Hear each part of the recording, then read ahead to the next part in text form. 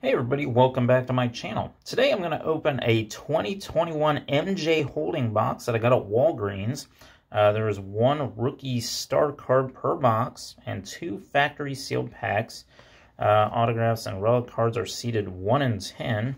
Um, by the looks of things, you're probably going to get a Trevor Lawrence in here and some hit packs. So, But I really wanted to verify that for myself, so I'll rip it open and See if there's any value to this whatsoever.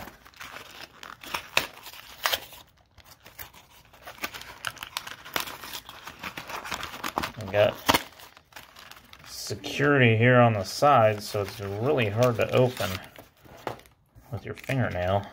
So, wow, I actually got a Topps pack. An Alliance of American Football, highlighting the inaugural season 2019. I'm actually going to keep this for my sealed collection because I don't have one of those. Might hold on to it for about 50 years here. And a 2021 Premier Draft Complete Series. Um, and here is the card that I got. Trevor Lawrence. Um, Topps released a Trevor Lawrence set. So most likely you're going to get the star card out of this um, unlicensed set. It's licensed for Trevor Lawrence, but not by the NFL. So I'm gonna crack this open and see what's in here. See if I can get anything of any value whatsoever.